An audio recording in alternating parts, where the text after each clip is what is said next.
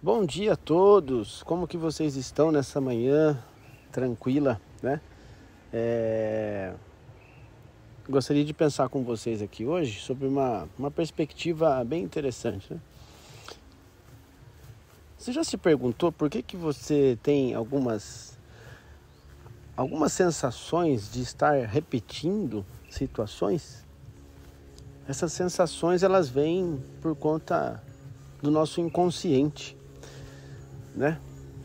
Nosso inconsciente, nós pensamos muitas das vezes que ele está desacordado, desatento, mas não. Nosso inconsciente ele está vivo, pulsando dentro da gente. E quando se trata de sensações de repetição, é, muitas das vezes eu preciso reconstruir alguns pensamentos, reconstruir alguns posicionamentos.